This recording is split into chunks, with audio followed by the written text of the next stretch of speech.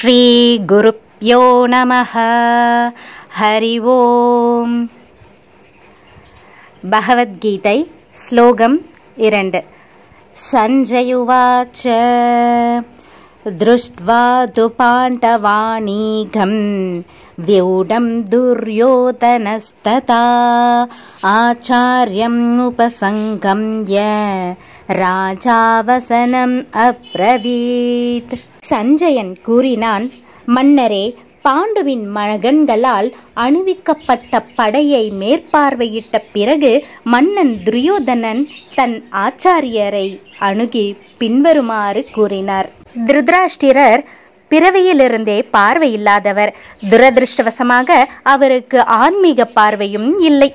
தனது மகன்களும் தர்மத்தின் விஷயத்தில் தனக்கு சமமான குருடர்கள் என்பதும் பிறவியிலிருந்தே நல்லவர்களான பாண்டவர்களுடன் அவர்கள் உடன்பாடு செய்து கொள்ளப் போவதில்லை என்பதும் அவருக்கு உறுதியாக தெரிந்திருந்தது. இருந்தும் புனித தலத்தின் தாக்கத்தினால் அவர் சந்தேகம் கொண்டார். போர்க்கள நிலைமையை பற்றிய அவரது வினாவின் உள்நோக்கத்தை சஞ்சயனால் புரிந்து கொள்ள முடிந்தது.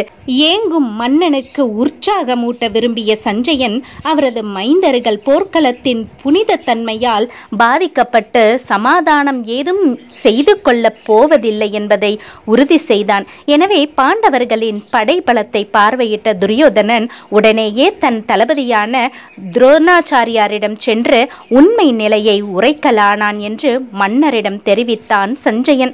துரியோதனன் மன்னன் என்று குறிப்பிடப்பட்டாலும் நிலைமையின் முக்கியத்துவத்தை உணர்ந்து தளபதியிடம் போக வேண்டியிருந்தது. எனவே அரசியல்வாதியாக இருப்பதற்கு அவன் பொருத்தமானவனே. துரியோதனன் ராஜதந்திரமாக நடந்து கொண்டாலும் பாண்டவர்களின் சேனையை கண்டதால் ஏற்பட்ட பயத்தை அவனால் மறைக்க இயலாமல் போயிற்று.